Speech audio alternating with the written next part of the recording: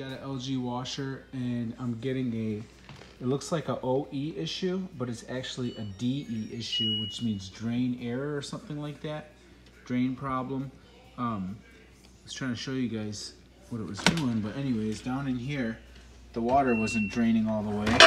So the first thing you need to do, similar model or one that's just like it, this piece right here, you unscrew it. You're supposed to clean this out every so often. I guess we didn't do that. So this got all clogged up. One time I got a piece of glass to go in here.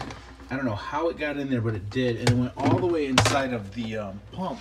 And the pump is located right here. I got my cover off. I'm actually going to replace this thing because it took me about an hour to get this all out. I'm going to replace it without going all the way in there. But this video is just about showing you what to do. I actually picked this up on eBay for $15 shipped to my drawer. And what it is, is a drain pump. And the piece of glass was wedged in here. That was the one issue I had one time where this wasn't able to spin and then it wasn't able to drain the water. So that's where the pump is located right there at the bottom. All you do is untwist it and remove it. There's two clamps right here and, the, and how I'm getting in here is I'm using this pliers right here and I clamped onto this right here and I slid it back. Now I can just undo this, but I'm gonna be ready to catch all that water that comes out with this towel. Got another backup one on the side, but once you unclip that, and first thing you're gonna do is pull this out right here, this little prong, and all you do is squeeze it on the end, see those little clips. One of mine broke off on this end, but it's not necessary to have both, or it's plugged in, you're fine. So unplug it, pull it out. So now that's unplugged off the side. It's got these two little rubber clamps right here that just hold it. Oops, dropped one. All it does is hold it in place and um, catch vibration. Um, electrical. It's in this box right here, but I've already removed mine and it's actually um, turned back on so I could show you guys the video. So I twisted it back in. This is actually supposed to go inside of the housing and it's behind that cover right here.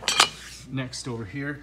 Oh, you do have the water. You're gonna wanna turn your water off before you go and unscrew that. If you're gonna pull this whole thing out, and over here, where it hooks up way back in here, and usually that drain issue could be this hose that goes to your, what do you call that thing? Disposal, and it goes in there. If this is kinked or something, that could be your issue too. That's the first thing you're gonna wanna do is check, or second thing, because I've already told you your first thing.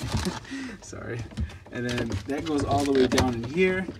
And let me remove these towels and show you that there is a shut off valve. You get in there, all these towels in the way. There you go, you got a shut off valve. In order to shut the water off, you're gonna turn it clockwise, I think it is. Clockwise, let me make sure before I go and say that. Yeah, clockwise would turn it off. Actually leaving mine on right now. So right now it looks like everything's working good. The dishwasher would run correctly and then I would get an error code up here. Um, I do wanna show you guys this real quick. There is a trick here for these and you if you hit the normal button and the delicate button, at the same time, I'll get it to do it. Hold on, you gotta hold it for like three seconds and just keep pushing. See how I'm doing my finger? Get it to do it. It's gonna, it's gonna drain automatically. You're gonna force the pump. There it goes, DR, which means drain. I am now forcing that pump to um, drain all the water that's in there.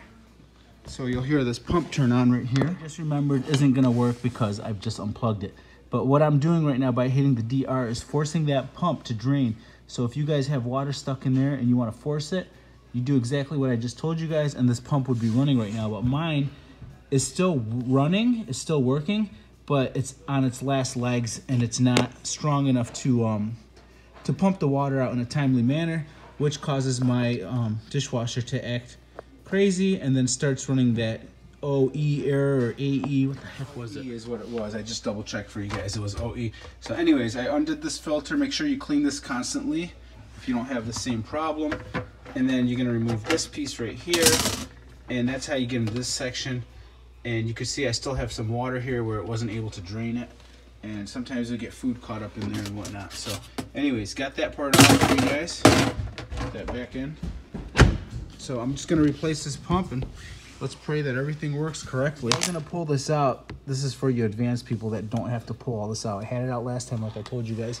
There, mine has two screws up here you can see the two screws. I got one mounted here and one here. So you're gonna remove those two, turn off your power breaker, find out which one um, turns off your power. You're gonna disconnect your power right here, turn off the valve so the water is off that was under there that I pointed to you guys. And next step is what you're gonna have to do is unscrew this water line. Once you unscrew this thing right here, and then the water, if you do, if you don't turn off your water pump water over there, the valve, if it's not turned off correctly right there, what you're gonna have is water squirting out at full force out of this pipe right here. So if you do it correctly, you won't.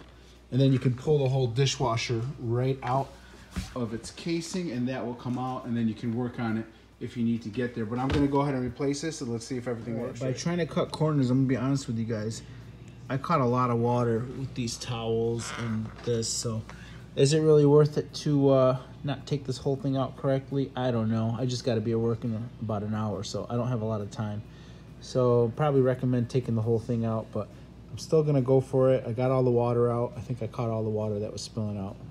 So I did spill a little I'd bit of water. love to record this for you guys, but I need both my hands to untwist this. Let me try this if I can show you guys what's going on. This motor right here sits like that, and I have to untwist it, and then it will come off. So that's what I'm gonna do is untwist it because it's locked on right over here, but I need both my hands to do this. The hose that I had to unclip was right here. And by telling you guys I don't have to remove this whole thing, this whole thing will just, see how it moves and you can get those clips, that little metal bracket clip right there with that pliers by moving it this way and catching it. So all you gotta do is take this one hose off, but if you can catch all that water and you don't feel safe doing this, go ahead and take the whole thing out.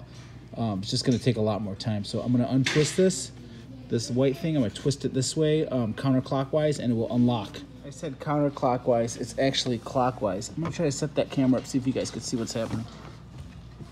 My, if I can get my hand out of the way. So I'm doing is twisting the white one.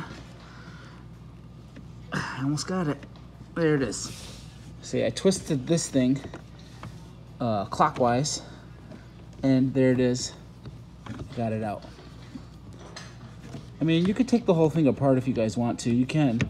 If you're a first timer, just go ahead and do that. But I don't want to take two hours. I ain't got two hours of my time. So got the pump out. This is the pump right here that spins. That's all you gotta do is I'm putting the new one and we'll be good to go. Here goes the new one in there. Always make sure if there's no dirt in here, but only thing I got in there is some water. So like I said, I had a piece of glass in there once and it most people would have probably threw the thing away. I fixed it once. Don't know if I'm gonna buy LG again, or do I blame LG or blame myself for not cleaning the thing out correctly? Probably blame myself. So that's on there now, and I'm gonna twist it on. Make sure it's on all the way. You gotta twist it, make sure it locks in. All right, that's on there. That's it ready to plug it in put it all back together and see what happens. I want to point this out. This is not the whole pump. This is a partial pump. And the new one I got didn't have the uh, rubber ring on there. And I was wondering why it wasn't locking in. So I took the rubber ring off of the old one and moved it over to the new one. And now I'm going to go back and put it in. Something wasn't right. I just knew it wasn't locking right. With the other um, gray piece, that mount right there that's sitting right here. This is usually connected to it. Um, I will put the model number on here and sometimes these are hard to find because they got like four different model numbers and they're compatible with a bunch of different ones. This is the new one right here. And this is the old one right here. And when you search these, you need to search the correct model number. Also, when you do order them, make sure that you use the photos to make sure that um, the plugs plug in correctly and everything looks right and looks the same. And Amazon and also do a Google search if you don't find them. All right, now I got the pump on there. Everything felt right. The first time I did it, I knew just something wasn't right. I'm gonna put this hose back on. I know it's hard for you guys to see what's going on. I'll just tell you. Hose is all the way back on. Gonna use my um, pliers, if you could see that. And let me turn the camera a little bit towards that way. I'm gonna go ahead and do this and clamp the clamp back on. Also, you can't forget to turn on your uh, water when you get done with this. Plug this back in where it goes. That's back in its place. This is all screwed on right with the rubber ring. Should be a little rough. I put this clip back on for you guys. And little hangers right here. Just hang them. It just clips up here. And then this clip's right there. That's all that does is hold it when it's shaking. Those right here. Got two of them. That's back on there. We're gonna go ahead and go behind the uh, under the sink, and we're gonna turn on the water back here. Turn that back on. It's on. And I just wanted to show you guys that when you do turn it on, and we're gonna force that pump to work again. I showed you guys that little trick where you hold normal and delicate. Hold it for like three seconds. Sometimes you gotta hit a couple times. There it goes. DR. That's gonna force the pump to drain, like I said in the beginning of the video. You know, go down here, and I can feel that motor spinning. Try to back up so you guys can hear it. You hear it trying to pump. Test this thing out. I'm gonna try to start it, and hopefully at the end of the cycle, we won't get. I'm just gonna run a normal normal cycle and hopefully we don't get no error issue. That would be great. So I'll let you guys know what happens at the end of the video. I just wanted to end this video and tell you guys I just forced it to drain because I forgot to screw on that um, filter and in here it was shooting water out like crazy which I'm to try to show you guys again and I know it's working so this did work again my pump was still running it would run spin stop spin stop because I could feel it spinning down here where it was would still work, but wasn't doing its job. And somehow this machine was knowing that it wasn't doing it correctly. So right now it's filling up with water. When I forced it to do that drain, never before did it shoot water out the way it was shooting out into there. I'm so happy that this darn thing is fixed. So um, that's the model I got, just in case you guys have the same one or a similar one, and you're getting that error code that won't pump the water out. So look for a kinked hose it could be your pump, and you could find these on eBay and Amazon if I didn't already say that. Just make sure you turn off your power. It's not a hard fix, and I'm so happy I fixed it for $15. And I'm gonna show you guys real quick and end this video that when I force that to drain the water that's in there, let me see if I got a bunch of water in there. I'll, I'll go ahead and force it right now. There it is draining right now. We're gonna go over here. We're forcing the drain. There you go. Now it's draining. It was not draining for crap last time. But it was still working, but only like, almost like peeing out. Nothing. It would stop. So again, if this video helped you out in any way, just give me that thumbs up. Thanks for watching. Go fix your dishwasher. Hell yeah.